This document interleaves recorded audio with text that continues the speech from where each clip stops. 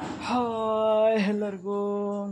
November ಬಂತು ಸುಗ್ಗಿ ಕಾಲ ಬಂತು ಸುಗ್ಗಿ ಕಾಲ ಯಾರಿಗೆ? ಮನುಷ್ಯನ್ಗ, ರೈತನ್ಗ, ಮೆಷಿನ್ಗ.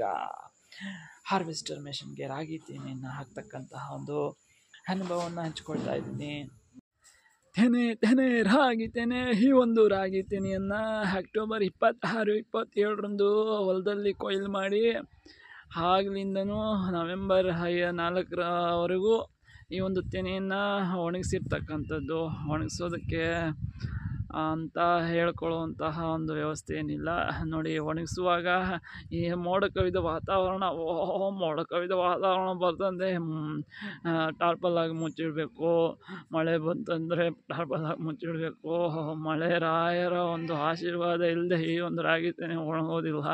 ಹೇಗೋ ಹಾಗೆ ಒಣಗಿಸೋದು, ಹಾರ್ವೆಸ್ಟರ್ ಮಿಷಿನ್ಗೆ ಹಾಕ್ತಕ್ಕಂಥದ್ದು. ಆಹಾ, ನವೆಂಬರ್ ಐದು, ಸುಗ್ಗಿ ಕಾಲ.